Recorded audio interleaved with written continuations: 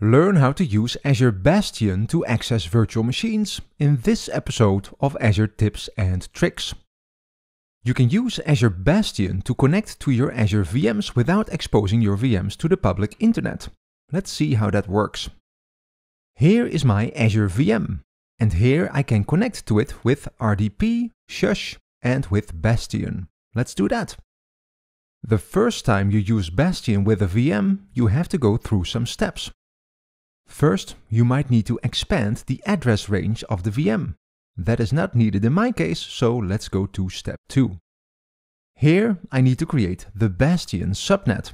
I'll leave the address space as it is. And also I don't choose a network security group, but you can if you want to. Create the subnet, and OK, done. What's next? I need to create an Azure Bastion resource. The VM uses this to connect and start a session. Let's see. I have several options. I'll leave the name as it is, and the pricing tier is set to standard. That's fine and enables me to scale the amount of Bastion units as well. This determines how many users can connect to the VM with the Bastion at the same time. OK, and I'll leave the rest of the settings as they are. Let's create it.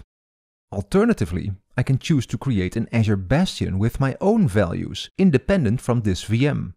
I'll skip to when it is done. And it's ready. I can now connect to the VM with Bastion.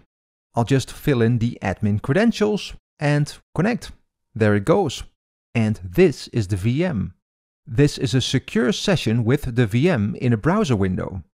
It's the same as using an RDP or SSH client, only now I don't have to go through the public internet. And I can remove the public IP address from my VM if I want. Cool! Azure Bastion is a great way to securely connect to your VM and it's easy to use. Go and check it out.